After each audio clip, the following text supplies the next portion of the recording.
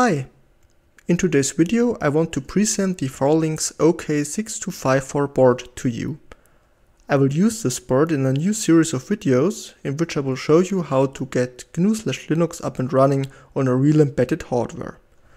So I got this board from the company Forlinx on the embedded world and I will use it as a platform for my following videos in today's video I will present this board to you and its interfaces and we will even boot it. And I also will tell you a little bit about the company Forlinx. So let's start. Here is the webpage of Forlinx. So it's forlinx.net and you can see the company is based in China and it builds system on modules with various chips from Rockchip, Allwinner, NXP or Texas Instruments. Then it builds single board computers with the system on the modules on it and embedded computers too.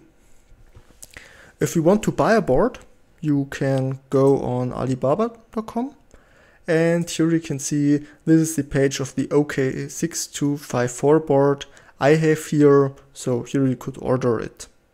I'll put a link of Alibaba and Forlinx in the description. Okay, so now let's take a look at the board. This document here is the hardware manual of the board, which is provided by Forlinx and you can see it's 73 pages long, so quite a bit, quite detailed. And let me go down a little bit to where we can find information or what's on the board. So here it is. So here is the board I will use. Okay, let's start at the system on a module here. So the heart of this module is a ASIC from Texas Instruments, and this is the AM6254 chip. It's a quite new chip, it was released last year I think, and it features four Cortex A53 cores from ARM for running a Linux operating system and one Cortex M core for real-time operations and device management. Then you have DDR4 RAM on the board and you can choose between a 1GB and a 2GB version. You also get a flash storage, so here we have a 8GB eMMC storage. Okay, and this is only the system on a module which is plugged on this carrier board. So let's take a look what is on this carrier board. So let's start down here. We have two gigabit ethernet ports. We have dip switches for adjusting the boot mode. And if all dip switches are off, like seen here, um, the device will boot from the eMMC memory. But we have other boot options. For example, I will use the SD card boot and we can adjust the boot mode here. Up here we have a small table showing us the available boot modes and the dip switch settings for them. Here we have a LCD display connector, a chip for Wi-Fi and Bluetooth. Up here we have a reset button, SD card slot, SIM card slot, audio jack, barrel jack for power supply. This uses a 12 volt power supply. We have a power switch, um, three I.O. headers here, some user keys and user LEDs we can use. If we want to debug the chip, we can use this JTAG connector up here here in this picture it isn't soldered, but on my board the pin header is already soldered down. Here we have two CAN interfaces and one RS485 interfaces available.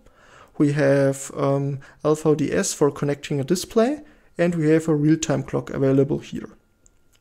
Then here we have a USB to UART bridge to access the serial console of um, the Linux kernel. So um, the over the serial port debug informations are available and you can even access a TTY over the serial port here. We, have USB on the go, three USB 2.0 host connectors. I think this here could be a USB hub maybe. And here a really cool thing is we have an M.2 slot here over which we can connect PCI Express cards in M.2 um, form factors. And as an example, here is a 4G or 5G modem plugged into it. Okay, so these are quite a lot peripherals and a lot of useful peripherals to get started using the system on a module. And now the next step, I want to boot the board and show you a little bit around. So, and together with, with the board, I got this really nice LCD display because it was on the exhibition. Um, when I power up the board from the eMMC memory, a demo video for Forlinx will play. Yeah, so this is quite cool. And here we have the um, USB to UART bridge. So let me connect it. And now I should have a new serial connection on my device. Yes, so here I have two UARTs. This UART is used for accessing the TTY over serial. So let me open it up with screen. And the baud rate is 150,200. I have to give it my password. And here we go. So now let me power on the board.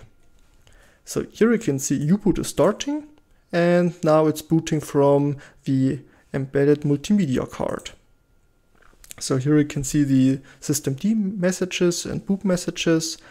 Now a program has started which flashes the LEDs here. And on the LCD display, you should see the an image um, video for Forlinx embedded. Here you go. cool. And here you can see we have accessed a TTY and we can log on the board. So the username is root and we don't need to give it a password. And here we are. Let's take a look at the home folder. So when I got the board initially, the only file in here was Forlinx, the video file here, and the rest are some things I have tested here on this board. So let's look at some more interesting stuff. First, let's take a look at the processor. So in proc CPU info, we get some information. And as I already told you, it's a four core processor. So we have four processor cores here. Okay, let's take a look at the memory with free and I want to have it human readable. So we have one gigabyte of memory available, but you can also buy the system on a module with two gigabytes. And if we look at the devices, yeah, this is the eMMC memory, and here we have 6.8 gigabytes complete size, and 4.6 gigabytes is still available, which is quite a lot. Even I think the image video is quite big too. Yeah, the image video is already 120 megabytes in size. Okay, and if we look at the used um, memory, we see about 400 megabytes are used. Okay, this seems a little bit much, but you have to know a video is playing here and if you take this into account, this is really okay, this memory usage. Okay, so let's see which um, network interfaces are available. So we have two Ethernet connections here. These are our two Ethernet, um, yeah, our two Ethernet interfaces and we have a CAN interface available too, which is pretty cool, and some other connections here. Okay, let's see which drivers are loaded by looking at the device files. So if we can access GPIOs, I2C, and stuff like this. Okay, this looks good. So we have three GPIO chips available. We have five I2C interfaces available. And I think yeah, we even have an SPI interface available. So this is quite cool here. Do we have some serial interfaces available too? Mm, doesn't look so, but never mind.